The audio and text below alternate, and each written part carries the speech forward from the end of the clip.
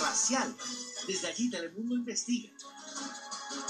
Crisis en la frontera. Cientos de familias colombianas denuncian que autoridades venezolanas las están desalojando y demoliendo sus casas. Veremos qué originó esta crisis.